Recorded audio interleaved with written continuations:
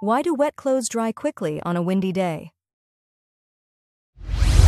Wet clothes dry more quickly on a windy day due to the process of evaporation being accelerated. Here's why. Increased air movement. Windy conditions facilitate increased air movement around the wet clothes.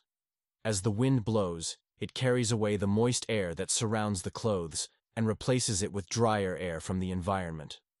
This continual exchange of air helps to speed up the evaporation process. Surface area exposure.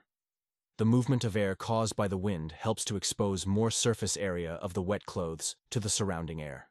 When more surface area is exposed, more water molecules on the surface of the clothes can escape into the air as vapor, increasing the rate of evaporation. Lowering of relative humidity. Windy conditions can also lower the relative humidity in the surrounding air. As the wind carries away the water vapor released from the wet clothes, it reduces the moisture content in the air around the clothes. Since evaporation occurs more readily when the air is dry, the decrease in relative humidity facilitates faster drying of the clothes. Temperature effects.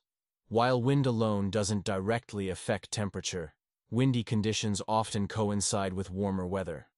Warmer temperatures can increase the energy of water molecules on the surface of the wet clothes, making them more likely to transition from a liquid to a gaseous state through evaporation. In summary, windy conditions promote faster drying of wet clothes by increasing air movement, exposing more surface area of the clothes to the surrounding air, lowering relative humidity, and often coinciding with warmer temperatures, all of which enhance the evaporation process.